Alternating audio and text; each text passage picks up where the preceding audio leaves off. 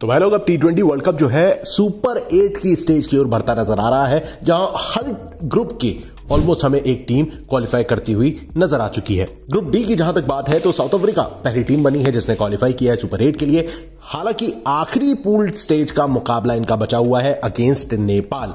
Match number 31 जिसे आज हम अपने इस वीडियो में कवर करने जा रहे हैं। मुकाबला खेला जाएगा Arnos Vale ground Kingstown Saint Vincent में।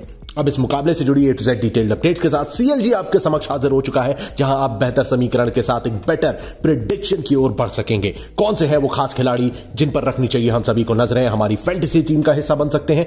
आखिर वेन्यू का एनालिसिस क्या कहता है? एंड फाइनली क्या नेपाल इस मुकाबले में साउथ अफ्रीका को टक्कर दे सकती है? क्योंकि अभी तक के जितने तीन मुकाबले साउथ अफ्रीका ने खेले हैं, भाई कहीं ना कहीं किस्मत का इन्हें काफ़ी साथ मिला है। चाहे वो श्रीलंका हो, बांग्लादेश हो, सभी के खिलाफ इन्होंने भाई मेहनत, मशक्कत करते हुए लड़ते, झगड़ते मुकाबला जीता है। तो आइए फटाफट से सबसे पहले नज़र डालते हैं वेन्यू की ओर। भाई लोग सेंट विंसेंट में अभी तक टी ट्वेंटी फॉर्मेट के तीन मुकाबले हुए हैं। दो मैचेस पहले बल्लेबाजी करते हुए और एक मुकाबला सेकंड बैटिंग करने वाली टीम ने जीता है। एवरेज स्कोर यहाँ पर पहले बल्लेबाजी करने वाली टीम का रहता है 149 रन हाईएस्ट स्कोर यहाँ पर बनाया है बांग्लादेश ने 159 रन फॉर फाइव विकेट्स और लोएस्ट स्कोर रहा है पाकिस्तान का 135 रन फॉर सेवन विकेट्स अब अगर स्कोरिंग पैटर्न की बात करी जाए तो डेढ़ से नीचे एक बार स्कोर रहा है।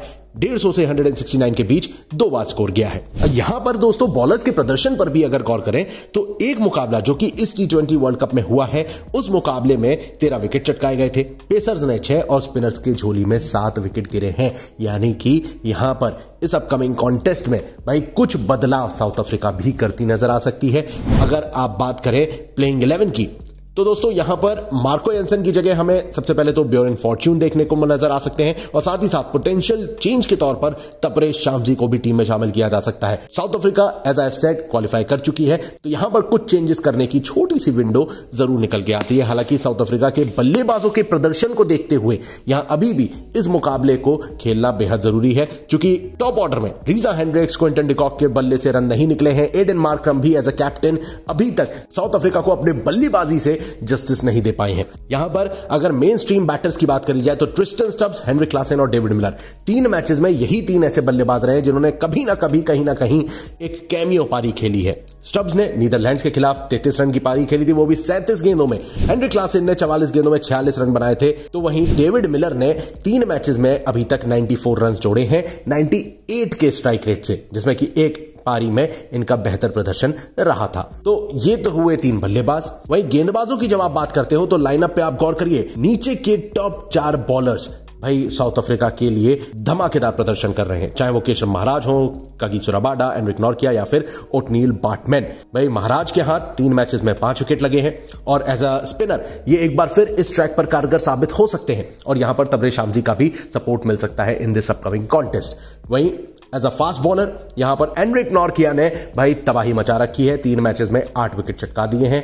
कगी सुराबाडा के यहाँ चार विकेट लगे हैं और ओटनील बाटमैन ने भी पाँच विकेट चटकाए हैं। तो यहाँ पर ये सात खिलाड़ियों पर एक बार फिर नज़रें सभी की रहने वाली हैं। हालाँकि साउथ अफ्रीका के टॉप ऑर्डर रीजा हेंड्रिक्स और क्विंटन डिकॉक के पास अलॉन्ग विद एडन मार्क्रम भाई मौका है इस मुकाबले में अपनी फॉर्म को वापस लाने का। ऑन दी अदर हैंड अगर हम इनके ओपोनेंट्स की बात करें, यानी कि नेपाल की तो भाई जैसा कि एक्सपेक्टेड था, प्रदर्शन भी हमें वैसा ही नज़र आया है। गेंदबाजी में तीन बॉलर्स इंपॉर्टेंट है। सबसे पहले तो मिडिल ऑर्डर में दीपेंद्र सिंह एरी, जिन, जो कि एज एन ऑलराउंडर टीम के लिए हमेशा से फ़ायदेमंद साबित हुए हैं।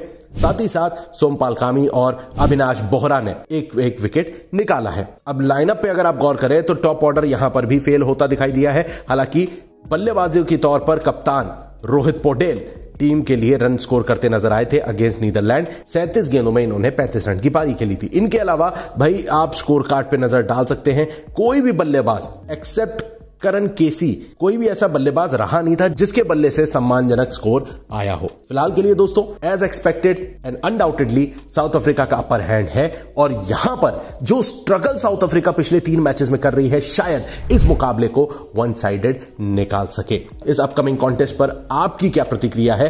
अब फाइनली इस प्री मैच एनालिसिस को सुनने समझने के बाद अपना ओपिनियन भी कमेंट सेक्शन में ज़रूर रखिएगा। इस वीडियो में बस इतना ही। जल्द हाजिर होगा क्रिकेट की और तमाम अपडेट्स के साथ। तब तक के लिए सीएलजी के साथ जुड़े रहें सब्सक्राइब करें और नोटिफिकेशन की घंटी बजा दें।